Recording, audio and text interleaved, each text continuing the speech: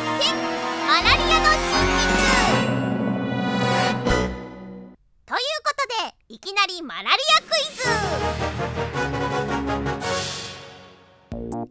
君たちはマラリアになるのは蚊に刺されるからだと思っているでしょうそれはね本当ですで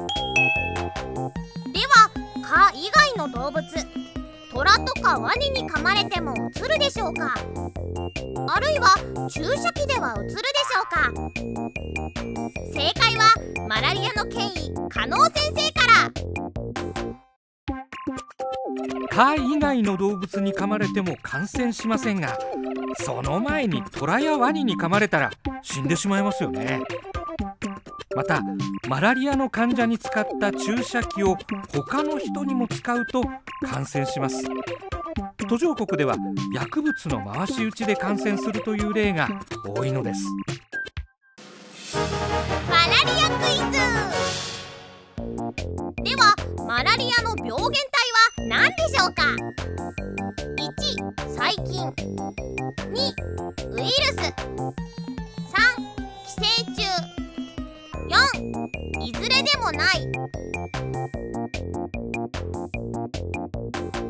正解は3の寄生虫です。寄生虫の中でもマラリア原虫という赤血球に寄生するものが犯人なんです。大きさは 0.001mm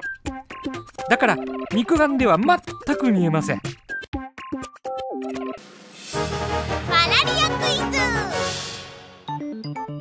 年マラリアで死ぬ人は何人ぐらいでしょうか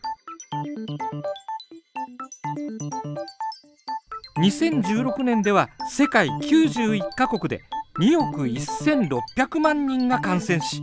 44万5000人が死亡しています。この表からもわかるように蚊は人類を一番たくさん殺す恐ろしい生物なんです。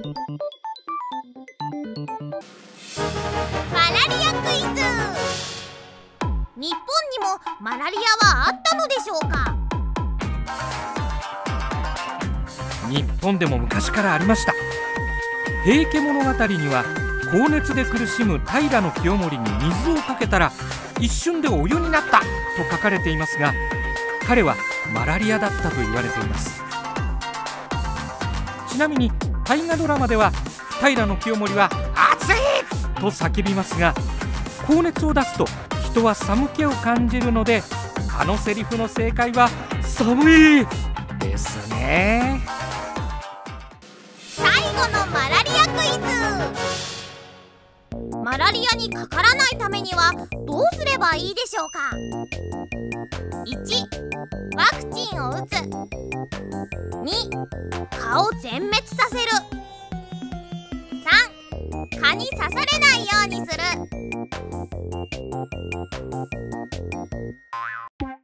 1や2と言いたいところですが有効なマラリアのワクチンはまだありません。今のところ3が最も効果の高い方法です。蚊に刺されないためには長袖長ズボンで肌を出さないようにすること。そして日本の蚊取り線香や蚊帳も世界で活躍しています。今の人は蚊帳なんて知らないかな。蚊帳の中は秘密基地みたいで楽しかったな。蚊帳に入るときはコツがあってね蚊が入り込まないようにさっと入らないと。では今日のまとめ。マラリアの原因は寄生虫。マラリアにワクチンはない。だからとにかく蚊に刺されないこと。マラリアは日本にはいないから大丈夫だろうと思っている君。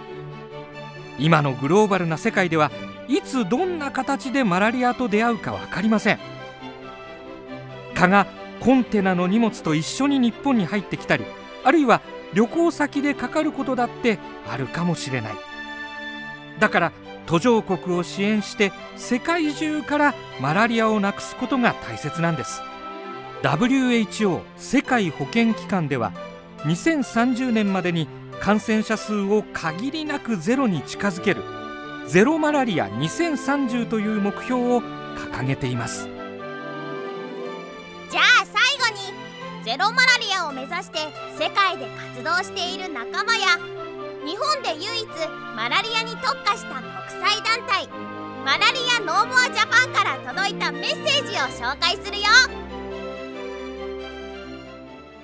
It's a disease that can be prevented, that can be diagnosed, and can be treated. So, when we have the ability to be able to both prevent a disease and treat a disease, I think it's our responsibility as a global community to be able to act on this disease, to be able to make sure those groups who are the most impoverished, who are the most vulnerable, who lack services to health, have access to the ability to be able to address this disease.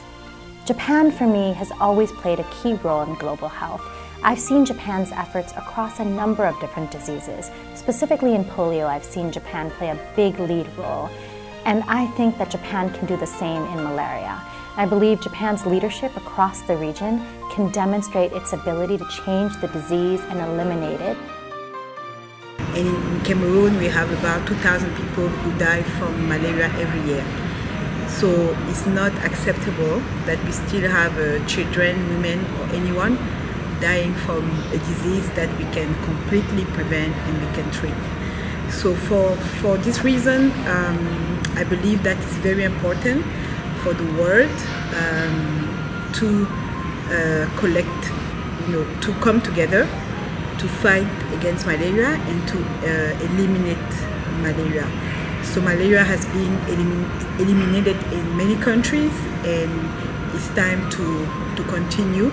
um, this road towards elimination to make sure that uh, no one dies from, from malaria uh, because it's time to make malaria no more.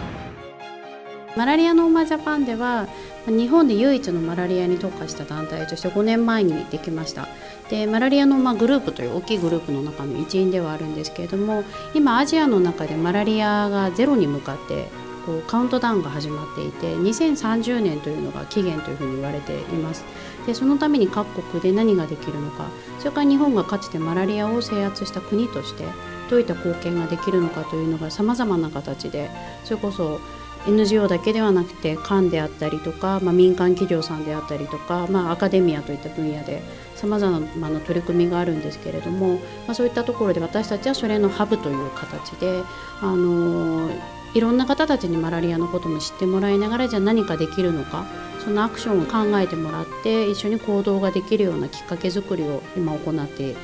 います。